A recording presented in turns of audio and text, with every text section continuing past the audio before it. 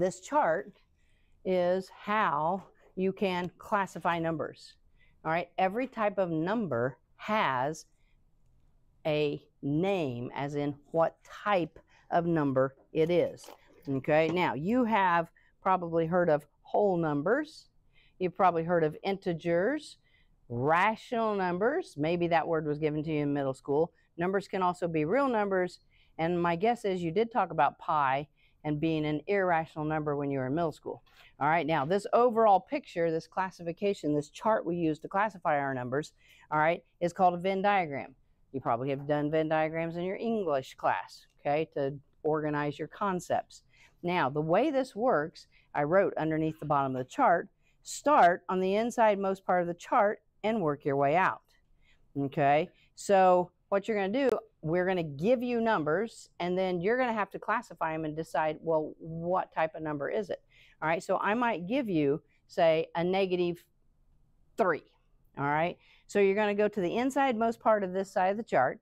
All right, this says natural numbers and it shows you one, two, three, four, five, dot, dot, dot. So would a negative number be in here? No.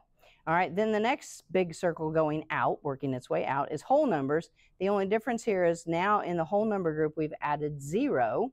All right, but we didn't add any negative numbers, so it's not going to fall here. All right, then the next circle out is integers. Would a negative number fall in here? Yeah, see, they give you some samples there. All right, so that's where it is. So what I say? Negative 3. So a negative 3 can be called an integer, a rational number, and a real number because you'll work your way out the chart. So it's got three names. A negative 3 is an integer, a rational, and a real. Okay? Now, sometimes your questions that will actually write out the words rational, real, integer, whole number, but other times you will see questions with these capital letters, all right, because upper level math classes, they don't want to write out natural numbers every time, so they're going to use a capital N. Whole numbers is denoted by a capital W. Integers is a capital Z, because it kind of has to be, because if we're going to let the irrational numbers be an I, I can't have two of the same letter, okay? Rational numbers are a Q, and then real numbers are what's called a double bar R, and that's not necessarily the best type version for a double bar R, but it was about the only thing I could get on my computer to type it. I'm going to handwrite a double bar R. So literally it's called a double bar R, which means it's going to have two bars and then an R like that. Okay, so real numbers, like when I handwrite it, if I were to handwrite it, I would do a double bar R like that. I typed it like this. All right, in in our formative, you know, it, it could look like this, it could look like this, a little bit different. They might even italicize those numbers, but you're going to do in the formative that you're going to do here in just a minute to practice some of these.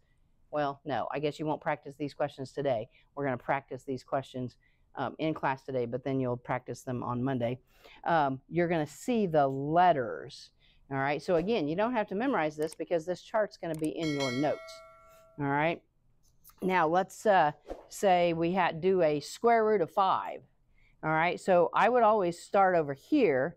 Okay. Square roots in this first one. Are there square roots in the first one? No. Are there square roots in the next one? No. Are there square roots here? Yes, but you have to be careful. Square root of 49, we know this from middle school. What's square root of 49? 7. All right. I gave you square root of 5. Can you do square root of 5 in your head? Well, it's not exactly 2.5, but it's going to be a decimal that's 2 point something, something, something.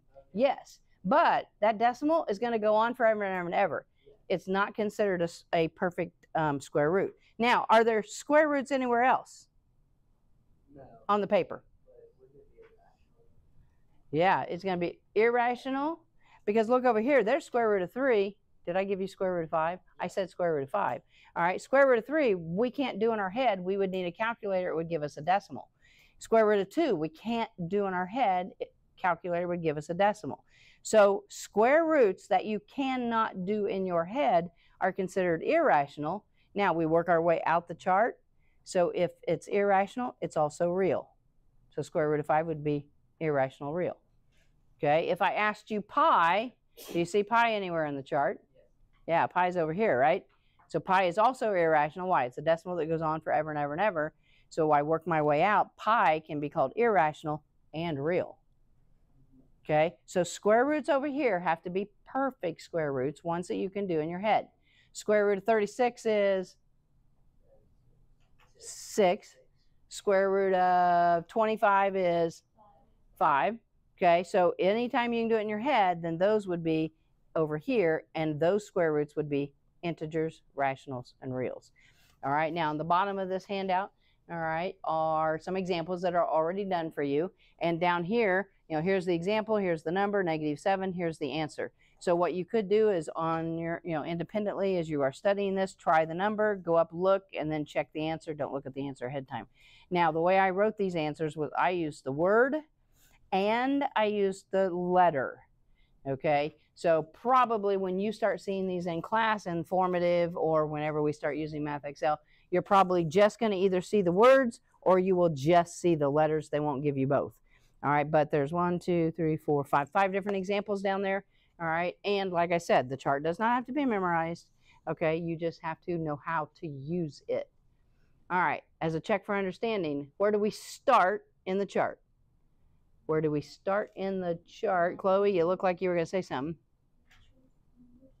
Um, I don't want you to just say natural numbers, but yes, I did start you here every time. Give me a more general way to say that. I start on the inside, the farthest most inside of the chart, which is going to be here. We work our way out. If you start over here and you go all the way out and you can't find the number of o at all, then you got to come over here. You start here. This is also an inside portion of the chart working its way out. So here, working your way out, here, working your way out. Okay, so pretty simple.